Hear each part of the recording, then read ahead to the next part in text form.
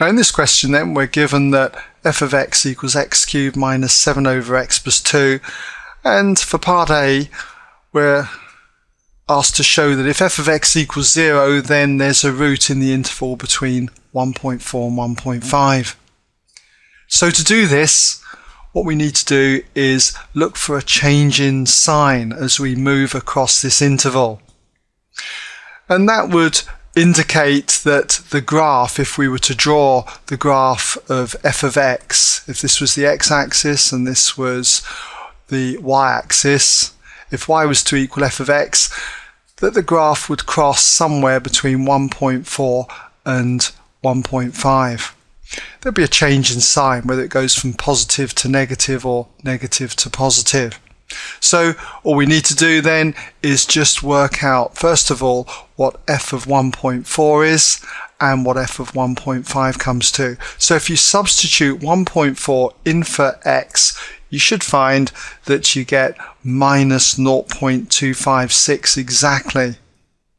And if you substitute 1.5 in to as, as x into here, f of 1.5 turns out to be 0.7083 recurring.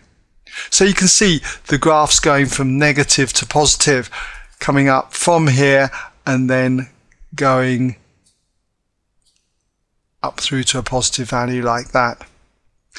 Okay, so what we need to do is say something like, since a change in sign, there must be a root. So let's just mark that in there. Since the change in sign, there must be a root. Be a root. Okay. In the interval, we'll just mark that in 1.4 to 1.5. The curve is also continuous over that interval. We must stress that because you know there might have been a break.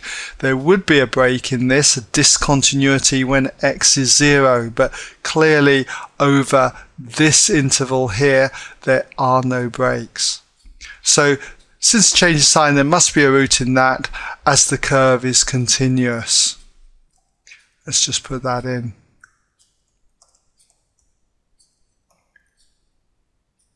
Alright, so I hope that gives you the idea then how I would go anyway about uh, answering that particular type of question.